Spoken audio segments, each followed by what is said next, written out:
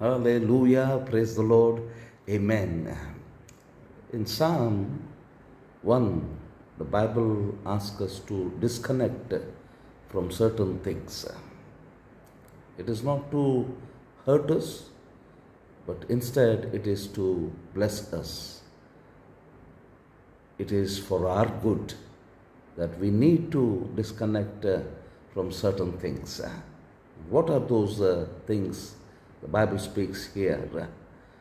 ಕೀರ್ತನೆ ಒಂದರಲ್ಲಿ ಕೆಲವು ವಿಷಯಗಳಿಂದ ನಮ್ಮನ್ನು ನಾವು ಬೇರ್ಪಡಿಸಿಕೊಳ್ಳುವುದಕ್ಕೆ ದೇವರ ವಾಕ್ಯ ನಮಗೆ ಹೇಳ್ತದೆ ನಮಗೆ ನೋವು ಮಾಡುವುದಕ್ಕಾಗಿ ಅಲ್ಲ, ಬದಲಾಗಿ ನಮ್ಮ ಒಳಿತಿಗಾಗಿ ಆ ಸಂಗತಿಗಳು ಯಾವುವು ಎಂಬುದಾಗಿ ದೇವರ ವಾಕ್ಯ ಇಲ್ಲಿ ನಮಗೆ ಹೇಳ್ತದೆ blessed is the man who walks not in the counsel of the ungodly ಎಂಬುದಾಗಿ. ಕನ್ನಡದಲ್ಲಿ ಒಂದು ಭಾಷಾಂತರ ಭಾಳ ಚಂದವಾಗಿ ಈ ರೀತಿಯಾಗಿ ಭಕ್ತಿಹೀನರ ಆಲೋಚನೆಯಂತೆ ನಡೆಯದಿದ್ದರೆ ನಾವು ಧನ್ಯರು, ನಾವು ಆಶೀರ್ವದಿಸಲ್ಪಡ್ತೇವೆ ಎಂಬುದಾಗಿ ದೇವರ ವಾಕ್ಯ ನಮಗೆ ಹೇಳ್ತದೆ.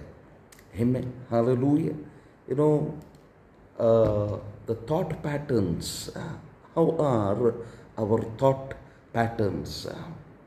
What beliefs we submit ourselves uh, you know whose uh, words we listen to these are very important things in our lives god is very much concerned that is why he mentions uh, this thing in his word for his children uh, ನಮ್ಮ ಆಲೋಚನೆಯ ಕ್ರಮಗಳು ನಾವು ಯಾವ ರೀತಿಯಾಗಿ ಆಲೋಚನೆ ಮಾಡ್ತೇವೆ ಯಾವ ಆಲೋಚನೆಗಳಿಗೆ ನಮ್ಮನ್ನು ನಾವು ಒಪ್ಪಿಸಿಕೊಟ್ಟಿದ್ದೇವೆ ಅಥವಾ ಯಾರ ಮಾತುಗಳನ್ನು ನಾವು ಕೇಳ್ತೇವೆ? ಇದೆಲ್ಲ ಭಾಳ ಮುಖ್ಯ. ಅದಕ್ಕಾಗಿ ದೇವರ ವಾಕ್ಯ ಈ ಸಂಗತಿಗಳನ್ನು ನಮಗೆ ಹೇಳ್ತದೆ. ಭಕ್ತಿಹೀನರು ಎಂಬುದಾಗಿ ದೇವರ ವಾಕ್ಯ ಹೇಳ್ತದೆ. Ungodly I mean council of the ungodly where God is not involved. You know, from such counsel, we need to separate ourselves.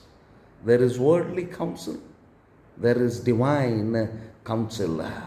There are people who walk with God, and when they speak, there are people who keep themselves in the Word of God.